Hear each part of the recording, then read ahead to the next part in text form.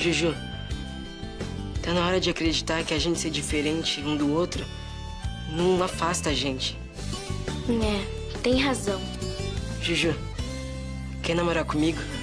Desde que a gente se conheceu, rolou uma sintonia, uma coisa só nossa.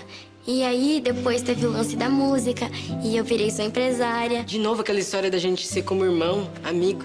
Não, você é muito diferente dos meus amigos. Eu sou caipira, não tinha um computador até esses dias. Eu sou todo. sei lá. Não, Zeca, você tá entendendo tudo errado. Eu quero namorar com você sim. Vou continuar te esperando